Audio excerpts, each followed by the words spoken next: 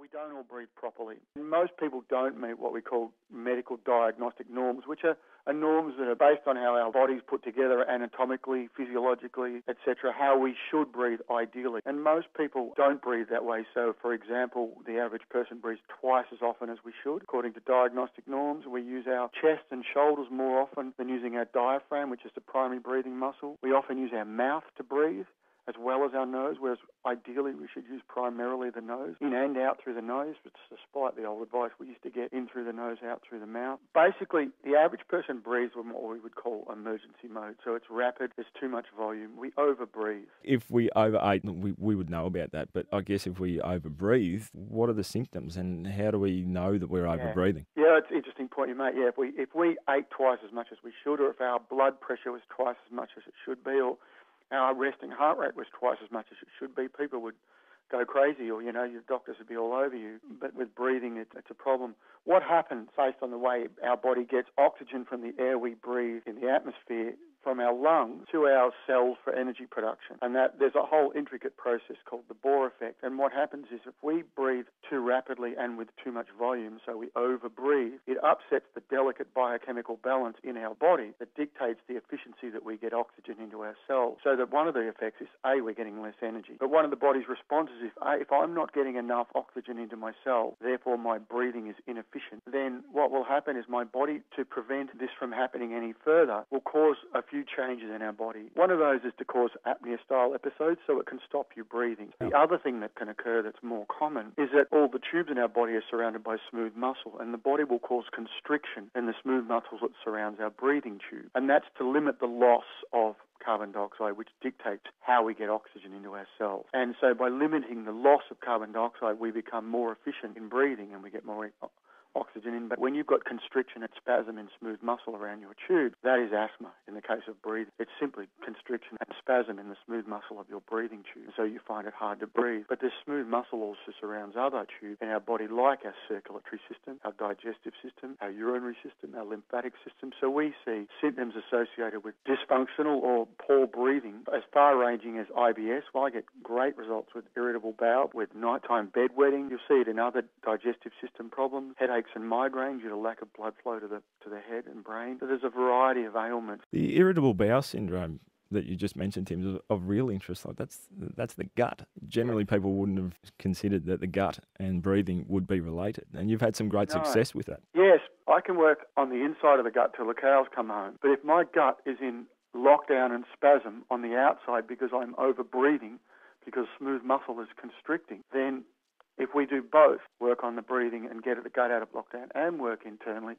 you can get much more comprehensive results. Other conditions that breathing optimally can help anxiety and depression? Yeah, it's been great with, with those two, and they were surprising results. Part of it's got to do with, you could argue, blood flow to the brain, but the interesting thing is that of all the automatic functions in our body, meaning that they they're the functions that operate whether we're aware of it or not. So when we're asleep, we still breathe, we our heart still beats, our body metabolizes. The one that we can consciously control is our breathing. So I can consciously manipulate my breathing. And the, auto, the, the, nervous system that regulates the automatic functions, called the autonomic nervous system, is also the nervous system that regulates our stress response and plays a big role in neurotransmitter levels in the brain. Basically, if you learn how to breathe properly, with breathing, the, the primary, there's a, there's a nerve called the vagus nerve that comes from the hypothalamus in the brain that regulates the function of many of the autonomic functions in our body. There are two aspects to that nervous system, the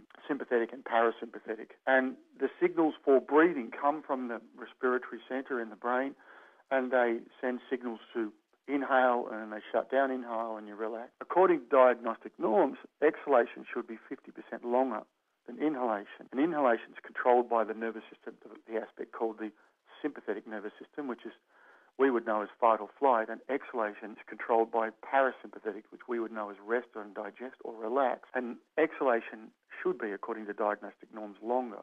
However, most people breathe only with their chest and shoulders and very rarely use their diaphragm. And as a result, their breath is quite short on their exhale, and so they become sympathetic dominant. And if you're sympathetic dominant, essentially it means that there's a cascade of changes that occur in your body. And one of those changes is that your serotonin levels end up dropping quite dramatically. Now, anyone medicated for anxiety and depression will be generally put on some a medication that is aimed to boost serotonin. And if you learn how to breathe functionally using your diaphragm, restoring the exhale phase back to the, longer than the inhale phase, then you can actually elevate serotonin naturally. And that's what we found started to happen that people with guidance with their doctor over time we were able to wean them off their medication. That's incredible.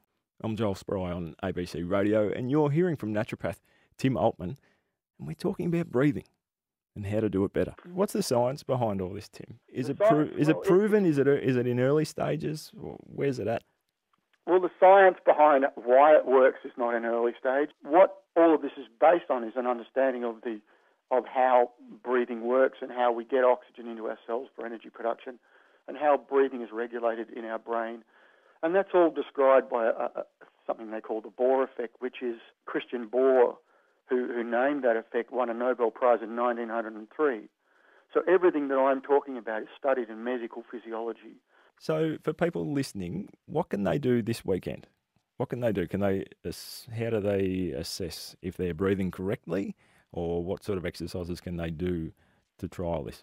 So they can certainly start by learning how to nose breathe and use their nose to breathe at all times, particularly when they're idle or they're just, you know, they're not exercising at high intensity. The second thing is in terms of diagnosing or looking at is my breathing efficient, ask themselves, am I breathing using my diaphragm, which will mean is my belly moving in and out when I'm breathing, or is my chest and shoulders going up and down? I can look at the rate that I'm breathing per minute, and if I'm breathing over 8 to 10 breaths a minute, I'm breathing too rapidly. And the average person will breathe, as I said, twice as rapidly as that, sometimes more. The third thing they can do is look to see is my breathing audible? And if it's audible, then it's probably too much volume of air. Even sort of frequent sighs or yawn can be evidences of dysfunctional breathing. Well, I've certainly experienced someone that I've sat next to at work and they're just constantly yawning and sighing. Interestingly, with the, the yawning and sighing is often when you're concentrating, you forget to breathe. And so you dysregulate, you know, in terms of if I forget to breathe, then my carbon, my carbon dioxide levels get too high. The brain perceives a threat. And so it will cause you to do an adjustment breath. So they can be a big adjustment adjustment breath